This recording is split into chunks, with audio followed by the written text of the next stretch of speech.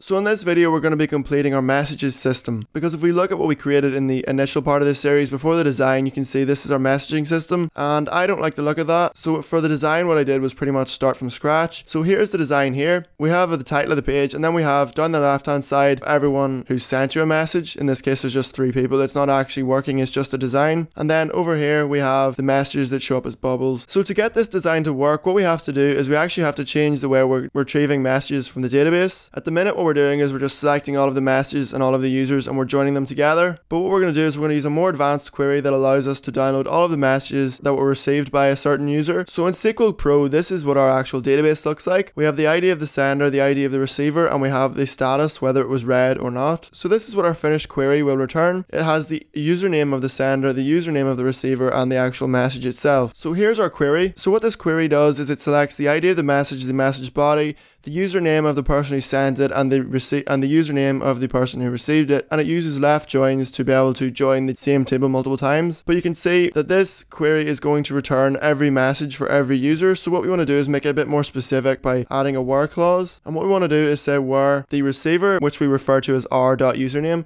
r.username in equals and in this case we're going to say we're logged in as howcode and s.username equals, and then in this case, we're going to refer to the sender as s.username. So if I run this, we won't get any difference because you can see for all of these messages, the sender and the receiver are the same. But what I'm going to do is modify this. So if I change the sender from the ID of one to say number seven, that's going to give us a different user. So now when I run the query, you can see that that message disappeared. And if I remove the where clause and run it again, now you can see we have that other message. So this is what our query is going to look like. So we're going to copy that and we're going to use our API to query the database. So in the get method, we're going to add another endpoint. So the endpoint we're going to add is going to be else if get URL equals, and the endpoint is going to be called messages.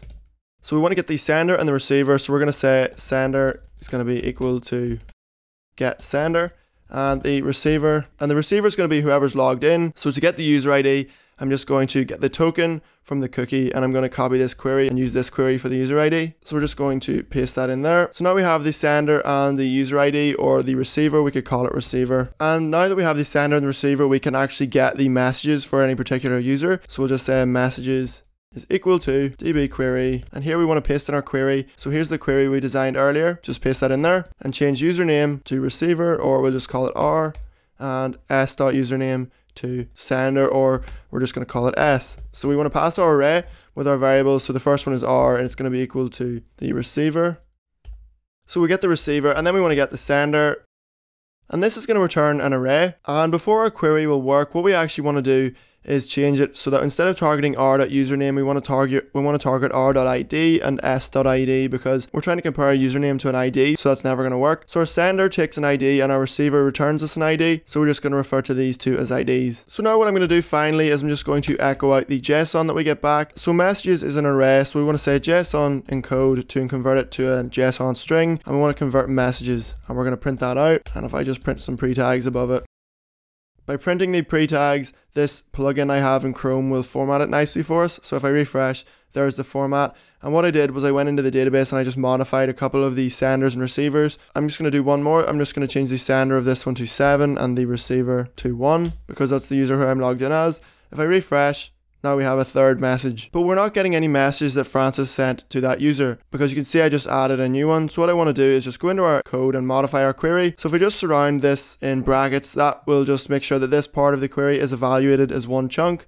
And what I want to do is I want to say, well, the receiver is us and the sender is, is this person here, or the receiver is the sender and the sender is the receiver. In other words, that means show all of the messages that I have received from this user who we're calling the sender, or show all of the messages that I have sent to this user. So I paste this in here and I just reverse it. So the receiver is going to be the sender and the sender is going to be the receiver. Now if I run this, you can see we get that new message printed out. And in this message, the sender was me and the receiver was the person I sent it to, which was also the person who sent me these other messages. But that's it for this video. Don't forget to like, comment, favorite, and subscribe. Don't forget to follow us on Facebook, Twitter, and Reddit. If you have any questions, you can always email me. But that's it for this video, and I'll see you next time.